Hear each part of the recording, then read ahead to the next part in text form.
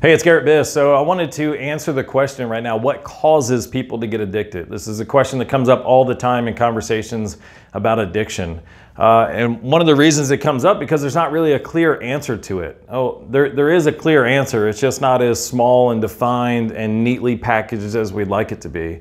The, uh, the real answer is there's many things that can lead somebody to become addicted, whether it's to a behavioral addiction or a substance addiction. And for every person that has gone down that path and become addicted to something, or they have some substance or behavior that's really taken over their life and they, and they have cravings for it and it's creating negative consequences and they can't seem to resist that behavior or that substance, for every individual who's experienced that, they have an individual path that took them to that place. There's an individual or a, a, unique combination of life experiences and contributing factors that got them to that place. Now, there's some similarities or there's some specific categories which uh, within which we can be challenged or within which these contributing factors um, fall into, but for each person, it's going to be something different. The biggest areas where contributing factors come from is biological factors. Some people are genetically predisposed um, to addictive tendencies and behaviors, and that's not because uh, really because their body acts in a different way when this chemical is introduced to them. But there was a study that I read that that that says uh, it kind of debunks the idea that there's an alcoholic gene and what it identified or what the, the theory was is that it's not necessarily an alcoholic gene or a drug addict gene what it is is it's a genetic uh, predisposition to greater emotional sensitivity.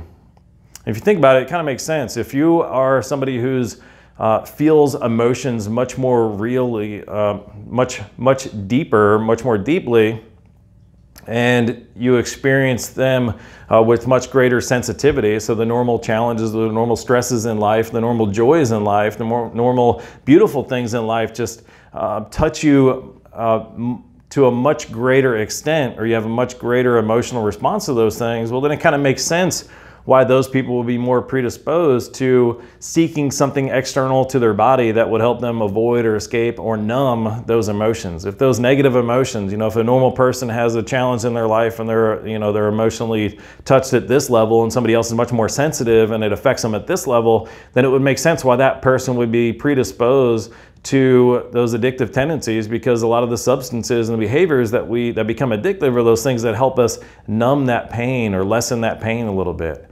So it makes sense why there would be a, a tight correlation between that. So biological, certainly one thing. And then by, uh, biology can also be affected by things that, you know, uh, that affect us. So going through life experiences affects the way that our, our body and our brain reacts or, or operates. A traumatic experience is something that, you know, when somebody's experiencing post-traumatic stress disorder, it's now they're experiencing abnormal responses to normal stimuli. So their brain reacts abnormally uh, in, in that threat response and the cortisol and the adrenaline response to something that should be a normal stimuli. So now they're having you know, biological influences, neuro, neurobiological influences that make them more likely to become addicted because again, their, their stress response, their sensitivity is much different than other people. There's also sociological influences. So we got biological, sociological influences. This uh, has to do with the way that we feel connected to other people.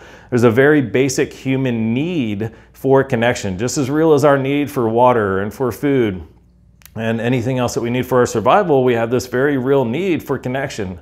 And the way that we are connected to other people in our community and our society affects our ability or can lead us to, um, to addictive tendencies or addictive behaviors. Now, this could be because of trauma that's happened in our life, could be because of developmental trauma, it could be because we didn't grow up or we weren't uh, in a very nurturing or loving environment, or we always felt like there was a chance that our needs weren't going to be met. So it has certain sociological implications or effects, and these things can influence or um, lead us towards or lead a person towards addictive behaviors.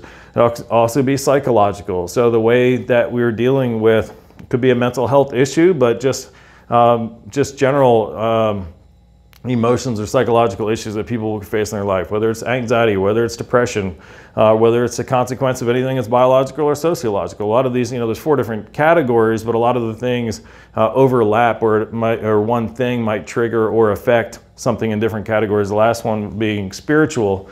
So our understanding of the world, of who we are and how we relate, and um, a higher a higher power, a higher purpose, and our sense of meaning, meaning in the things that we're doing, the things that we're engaged in, that all kind of falls under spiritual. So there's many different reasons or many different areas of contributing factors, but for each individual that's struggled with addiction or substance use disorder, there's a different combination. So there's not one answer, it's not one thing.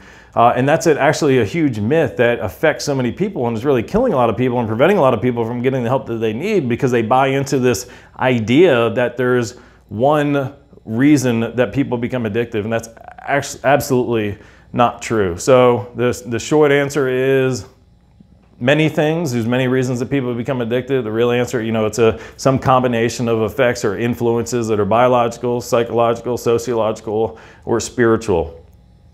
And to that point, the only way to move beyond those addictive behaviors and find a life in recovery, a successful life in recovery, is to address factors across all of those areas. Many programs, they might focus in on one or two areas, one or two of those four areas, and because it's only focusing on some on a narrow area or one or two areas, it completely ignores or doesn't address underlying factors, underlying issues that could be outside the realm of what they're focused on. So the best uh, recovery approach, the best way to approach recovery is looking at it holistically and finding a way to address and identify issues across the board so that if you're unique combination of life events and life circumstances and contributing factors um, is spread out among those four areas biopsychosocial and spiritual that your program has an, a way to address those needs in all those areas. Because if you're only focusing on one, you're only focusing on two, you have a, a, tremendous vulnerability